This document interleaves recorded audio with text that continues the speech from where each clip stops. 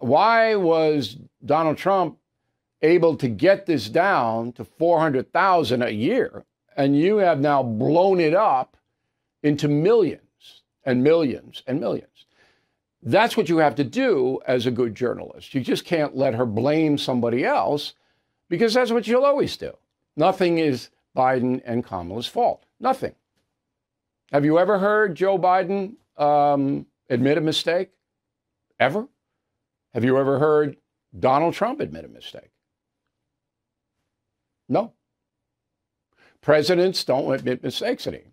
They make them, they don't admit them. And Kamala is just, you know, she basically says they were ready for that question. The Kamala Harris people were ready for it. And the fact that Whitaker didn't have his follow up ready, I, I, am so disappointed. Thank you for watching the No Spin News. To watch the full episode anytime on BillO'Reilly.com, please sign up to become a premium or concierge member. Visit BillO'Reilly.com to sign up and start watching today.